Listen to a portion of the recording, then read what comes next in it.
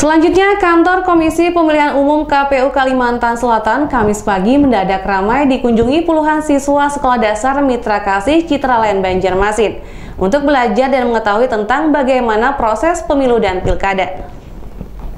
Komisi Pemilihan Umum Provinsi Kalimantan Selatan Kamis pagi 1 November mendadak ramai dikunjungi puluhan siswa dan siswi beserta guru kelas dari Sekolah Dasar Mitra Kasih Citraland Banjarmasin. Dalam kunjungannya, sejumlah anggota Komisioner KPU Kalsel menyambut baik kehadiran para murid kelas 6 tersebut. Selain diberikan materi tentang tugas-tugas KPU, juga diberikan materi seputar tahapan pemilu hingga jumlah partai politik yang akan menjadi peserta pemilu tahun 2019 mendatang. Salah satu guru kelas mengatakan kunjungan ke kantor KPU ini diikuti sebanyak 49 siswa dari kelas 6 Mitra Kasih Citraland. Tujuannya untuk menggali pengetahuan tentang tugas-tugas KPU serta tahapan-tahapan pemilu di wilayah Kalimantan Selatan. Kita lagi ajak anak-anak kelas 6, uh, eh, kalau disebutnya itu primary 6 di primary di Sekolah Mitra Kasih, Citraland. Kita ajak, kebetulan anak-anak kelas 6 sedang belajar PPKN, itu tentang pemilu dan pilkada.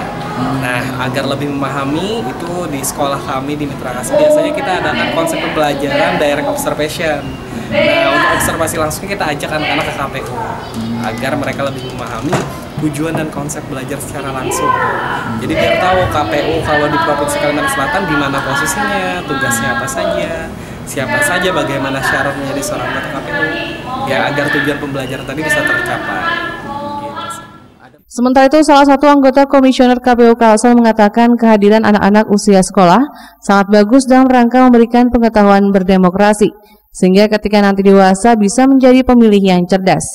KPU mengaku terbuka bagi mereka yang ingin belajar demokrasi dan politik agar Kalsel memiliki SDM yang bagus. Ini apa ya? Ya, kita akan open terhadap orang-orang yang ingin belajar demokrasi dan politik di negeri ini agar mereka menjadi SDM punya SDM yang bagus ya, utamanya dalam penyelenggaraan pemilu.